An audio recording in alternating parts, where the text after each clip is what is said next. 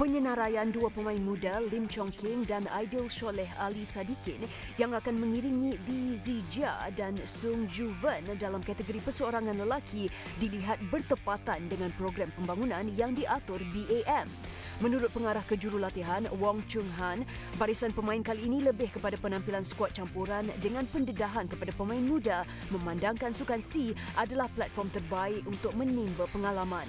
Selain Zijia dan gandingan beregu Aaron Chia Sohu Yik dalam skuad lelaki, pasukan wanita negara pula menampilkan pemenang emas Sukan C 2017 di Kuala Lumpur, Goh Jin Wei yang bakal turun mempertahankan gelaran juara.